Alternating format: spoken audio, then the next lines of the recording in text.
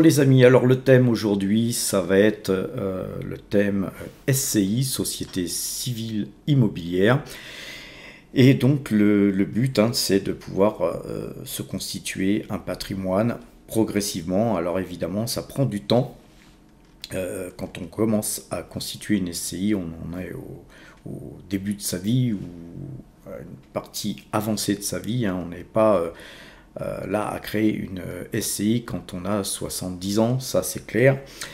Maintenant, le but de euh, créer une SCI, c'est de pouvoir gérer son patrimoine de façon progressive et de pouvoir amortir effectivement du crédit. Donc l'intérêt, c'est de pouvoir aussi, avec sa banque, de pouvoir développer des crédits et de pouvoir les allouer à l'achat d'immeubles ou d'appartements. Alors moi, j'ai créé une SCI à capital variable. Alors pourquoi à capital variable? C'est extrêmement rare de voir des, gens qui créent des SCI à capital variable. Tout simplement pour faire varier le capital. Hein, son nom l'indique. Donc ça vous permet euh, d'augmenter de, le capital d'une manière régulière et de faire augmenter le capital de par vos propres soins, si vous souhaitez augmenter le capital vous, mais aussi de vos associés. Donc ça vous permet de constituer euh, une entité qui va vous permettre euh, de faire rentrer de l'argent de manière euh, récurrente, hein, tous les mois, tous les trois mois. Vous pouvez solliciter tous les actionnaires existants dont vous faites partie. Ça vous permet euh, de pouvoir euh, amener de nouveaux actionnaires au sein même de cette SCI et les statuts vous permettent effectivement de euh, pouvoir gérer tout ça d'une manière assez souple. Et c'est ça qui est intéressant d'une part quand on constitue une SCI à capital variable c'est de pouvoir avoir une croissance au sein d'une même entité vous pouvez tout aussi bien avoir une SCI, une seule, euh, toute simple, et puis euh, quand vous avez suffisamment d'argent, euh, en constituer une deuxième, puis une troisième, et puis etc.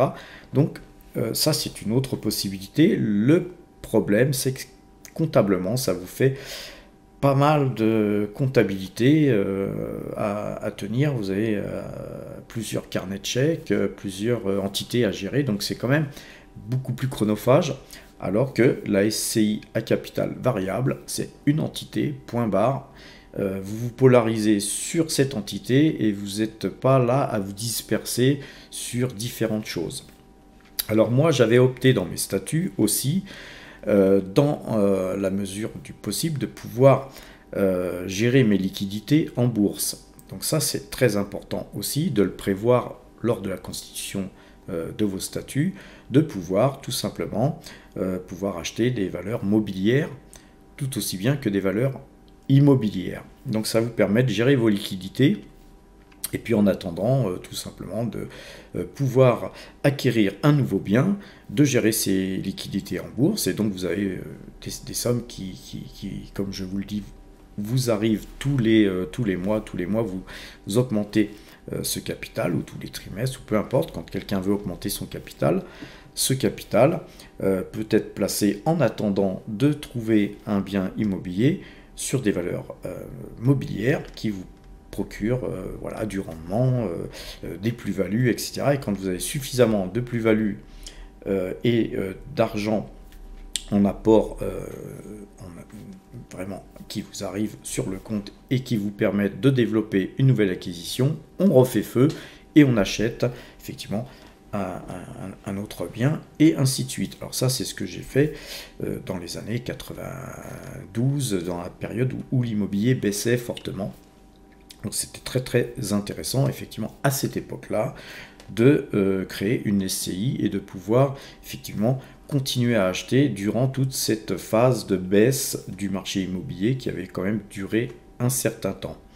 Et donc ça vous permet d'avoir euh, euh, aussi une possibilité de réduire votre frottement fiscal. Donc en gros, ça vous permet d'éviter une, imposition sur votre imposition personnelle ou l'imposition personnelle de tous vos actionnaires parce que vous êtes tous euh, au sein de cette SCI avec des impositions différentes. Donc le mieux, effectivement, c'est d'avoir euh, à opter pour euh, l'impôt sur l'IS parce que ça va augmenter votre cash flow. Tout ce que vous allez gagner, vous allez le réinjecter dans de nouvelles acquisitions. Vos dividendes, si vous avez des, actions, euh, ça va créer un cash flow grandissant. Vous allez avoir des augmentations de capitaux, vous allez avoir des loyers qui tombent, vous allez... Tout ça va vous permettre de développer votre SCI avec une croissance que vous n'auriez pas si vous aviez euh, opté pour une simple SCI qui ne euh, permettrait pas tout ça tout simplement. Alors aussi, il y a une question de fiscalité, bien sûr, euh, quand on choisit l'impôt sur l'IS, c'est-à-dire que pendant cette période-là, vous allez payer énormément moins d'impôts, puisqu'effectivement, vous allez déduire vos, vos, intérêts, vous allez déduire tout un tas de choses, des travaux, tout un tas de choses au sein de cette même structure. Et donc, euh, pendant toute cette période-là, puisque vous avez payé moins d'impôts, ces impôts non payés, en gros, euh, vous allez, et tout ça c'est légal hein, bien sûr, vous allez euh, pouvoir le réinvestir dans de nouveaux projets.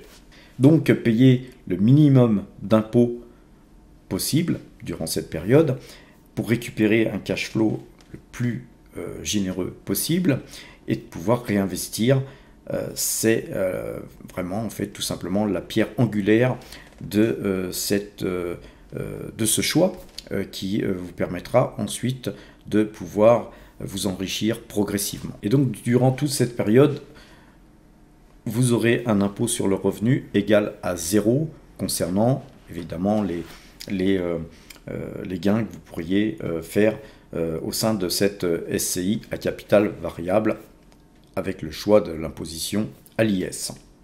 Par contre, à l'IS, vous serez imposé entre 15 et 25%, suivant combien vous, allez euh, euh, générer euh, de, gains.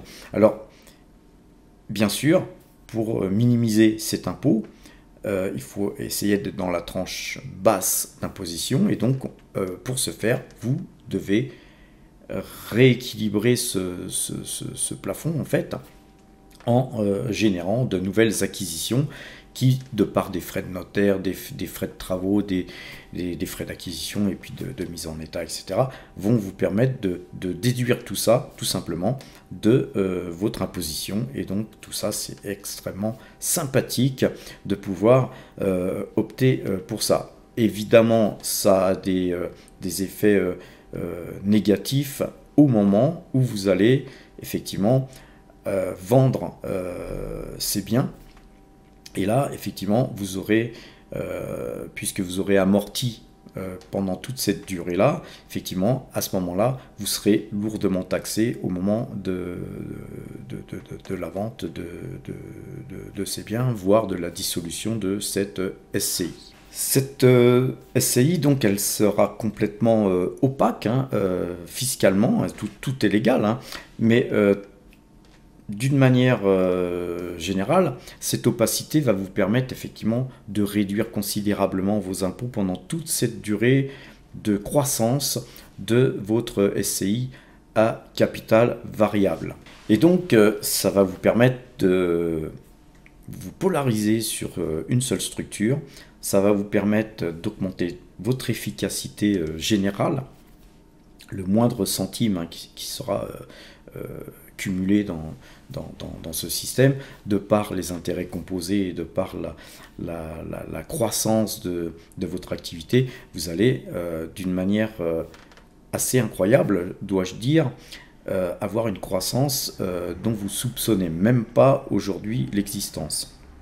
Moi, j'ai commencé en fait en achetant tout simplement un premier bien, puis un deuxième, puis un troisième. Et puis après, on avait gardé 30%, je, crois, de, liquidité pour faire de, la bourse en attendant euh, un, prochain, euh, un prochain achat.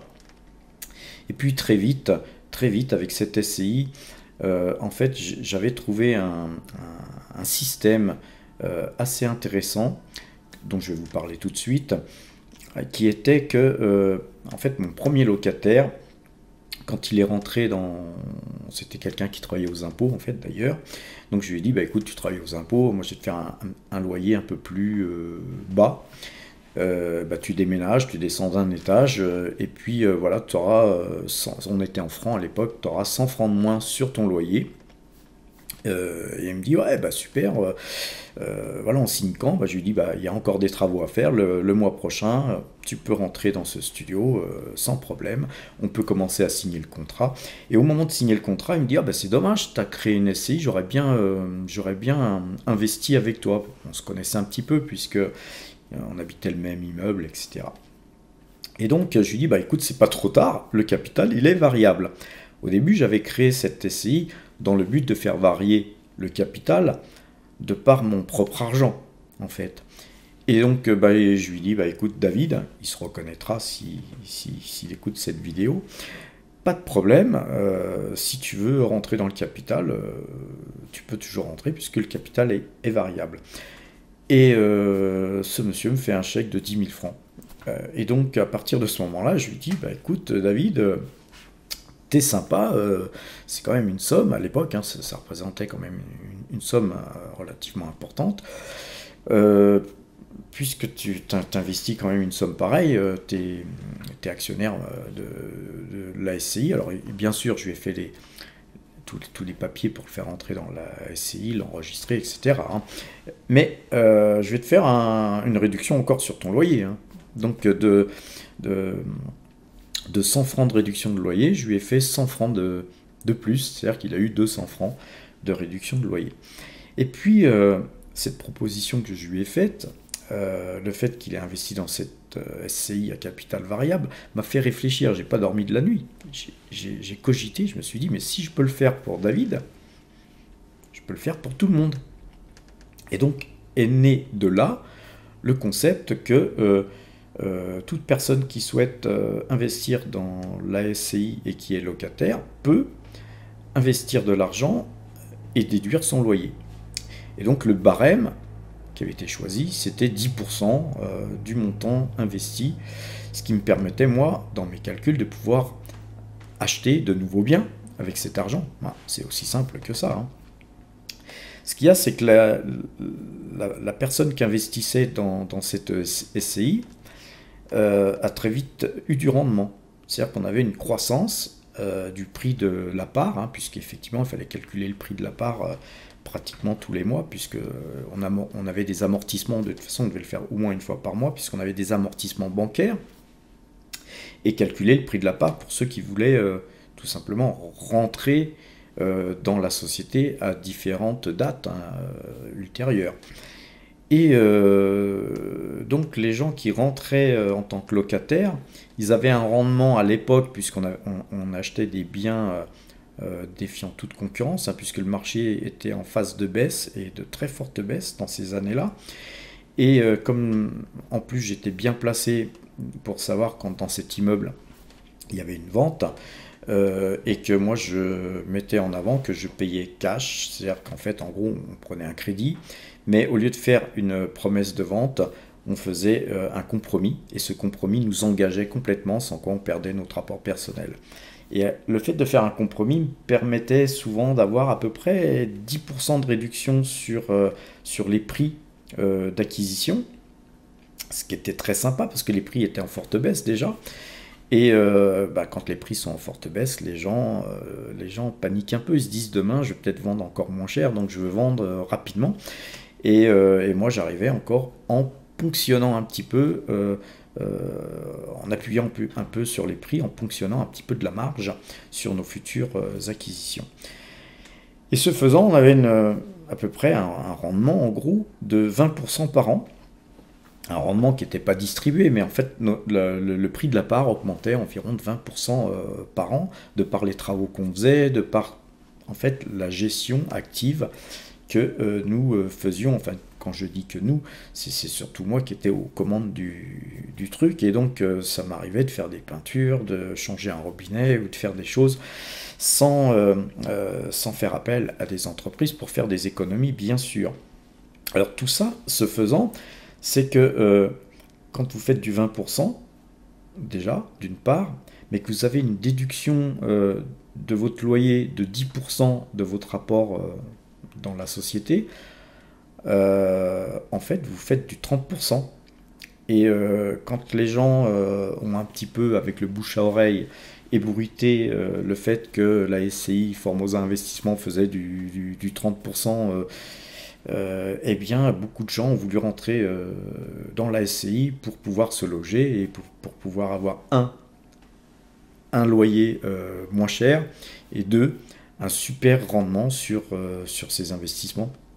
Et donc, euh, ma SCI, Formosa Investissement, s'est développé à une vitesse assez incroyable pour, pour quelqu'un comme moi qui, qui, n'avait pas en fait envisagé une pareille croissance au début. Alors c'est pourquoi je vous dis, créer une SCI euh, à capital variable, ça peut avoir cet intérêt de faire ça, mais surtout, ça a un intérêt quand vous êtes dans un marché baissier. Ce qui pourrait arriver prochainement euh, sur le marché immobilier, puisqu'on voit que le marché immobilier a quand même un peu baissé dernièrement. Donc dans un marché baissier, vous pouvez faire de l'accumulation de biens, et puis effectivement faire de la distribution de biens, revendre vos biens, même si, quand bien même vos crédits ne sont pas euh, terminés, pouvez euh, euh, tout simplement alléger votre portefeuille en immobilier et revenir à rechercher des biens plus intéressants, à des prix plus intéressants et, faire croître, continuer à faire croître votre SCI. C'est beaucoup moins facile, je le conçois, dans un marché haussier, puisque effectivement vous êtes dans une phase où vous êtes à un moment donné, à force que, les prix montent, on, risque de les voir plafonner, voire tout simplement redescendre. Alors moi je suis pas un spécialiste de, la fiscalité, hein, c'est pas du tout mon truc, tout ce qui est paperasserie, euh, imposition, tout ça, c'est pas vraiment ma tasse de thé, mais euh, je vais aborder un point important sur, euh, sur les, SCI, mais surtout la, SCI capital variable, hein, celle que je, connais le mieux, puisque c'est la seule d'ailleurs SCI que j'ai créée de, de, toute ma vie, c'est que vous évitez, euh, euh, évitez l'indivision. Si, euh, si par exemple vous êtes marié, vous pouvez, si vous n'avez pas de contrat de mariage, vous pouvez tout simplement être dans une structure qui vous permet, le cas où votre couple euh, batte de elle et que tout simplement vous devez vous, séparer, ça vous permet de chacun conserver vos parts et ça vous empêche de pouvoir, euh, ça vous empêche en fait de vendre la société parce que quand les gens en général se séparent, euh, eh bien chacun veut reprendre ses billes. La problématique étant que ben, on vend à, vil coût, hein, puisqu'on vend dans l'urgence, puisqu'on veut, on veut se séparer à tout prix, on veut, on, veut tout euh, clôturer les dossiers, etc. Et donc on vend forcément à la va-vite et on vend mal. D'une part, et euh, d'autre part, parfois, euh, il y a une des deux personnes qui ne souhaite pas vendre, voudrait bien conserver ce bien, mais elle ne peut pas parce qu'elle n'a pas la capacité financière de racheter les parts à l'autre personne. La euh, SCI à capital variable permet ça. Ça permet tout simplement de pouvoir conserver cette SCI puisque c'est contractuel. La personne ne peut pas vous obliger à vendre, contrairement euh, en nom propre euh, et que vous aviez euh, acheté des biens en nom propre, là dans ce cas-là, vous êtes dans une indivision, vous devez absolument vendre vos, parts. Alors ça n'empêche pas de vendre, ceci dit, hein, si vous mettez d'accord au niveau de, la vente, ça vous permettra de vendre aussi, hein, ce n'est pas un problème. Mais par contre, l'autre personne ou les autres personnes de la SCI ne peuvent pas vous obliger à vendre les biens en question.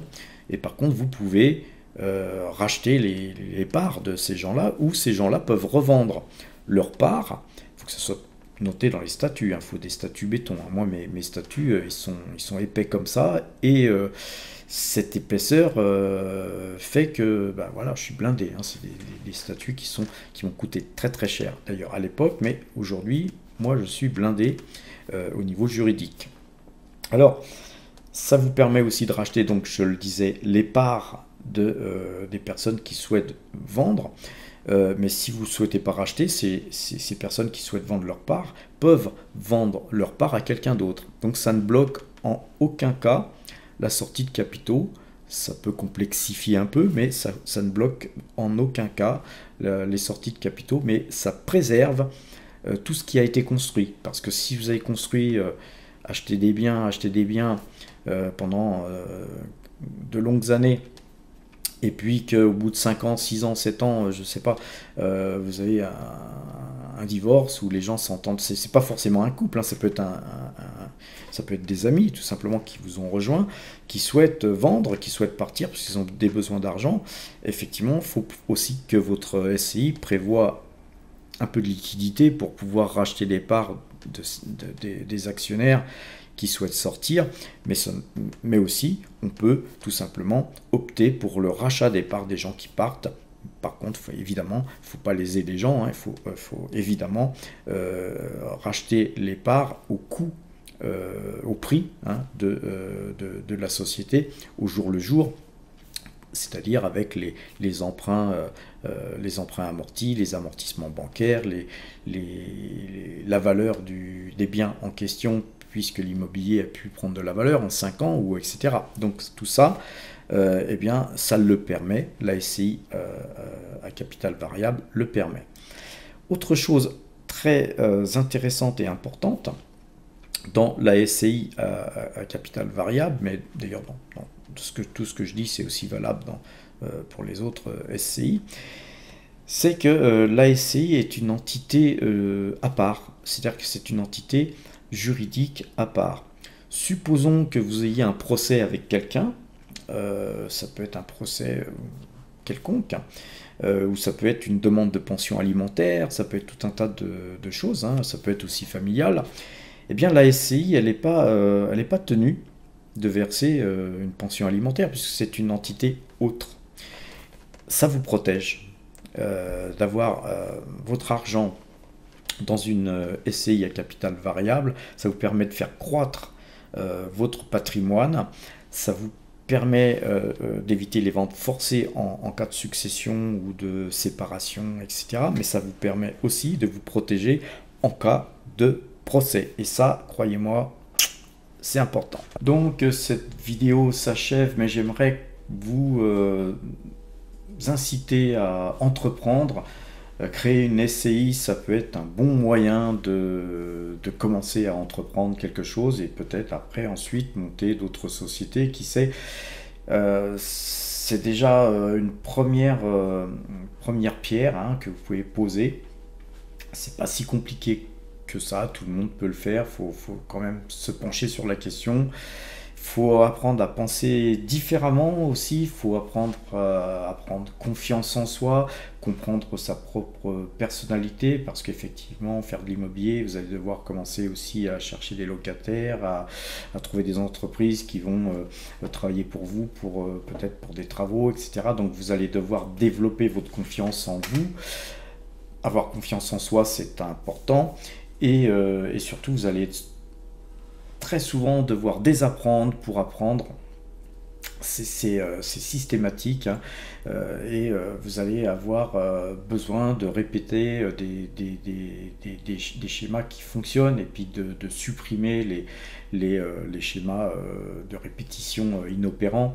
Donc voilà, il faut sortir de sa zone de confort et ça, c'est pas dû à tout le monde, mais c'est justement un bon moyen de, de, pouvoir arriver à se comprendre soi-même, à être flexible, avoir une flexibilité euh, d'esprit et une résistance au stress, parce qu'effectivement, quand on commence euh, à se plonger dans le monde des affaires, effectivement, il faut avoir une certaine résistance au stress, parce qu'il y a toujours des, des éléments qui vous arrivent, qui vous tombent dessus et que vous n'aviez pas forcément prévu. Et donc ça vous, euh, ça vous oblige euh, euh, à, à, vous développer un plan B, on va dire, toujours derrière chaque stratégie que vous allez mettre en place. Et donc garder, garder ses, ses, bases et développer son mental, ça reste quelque chose d'important dans, dans l'entrepreneuriat. et encore une fois, je vous encourage à construire vos rêves, à construire votre futur, car si vous ne le faites pas, personne ne le fera pour vous. Les amis, je vous souhaite une bonne fin de journée, portez-vous bien et à bientôt